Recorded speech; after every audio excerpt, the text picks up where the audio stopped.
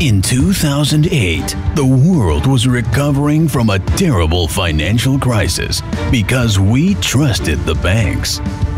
Emerging from the rubble of financial ruin was a digital currency by the name of Bitcoin.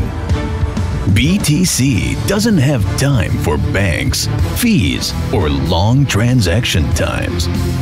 Bitcoin was made by and for the people because the banks aren't to be trusted.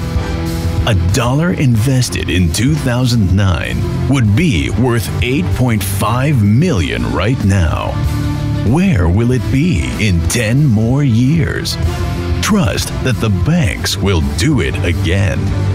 So, what are you going to do when the economy collapses on you?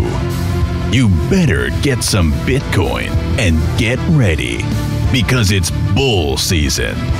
And this time, Say hello to his little friends. BTC Part 2 Rise of the Altcoins. Now playing.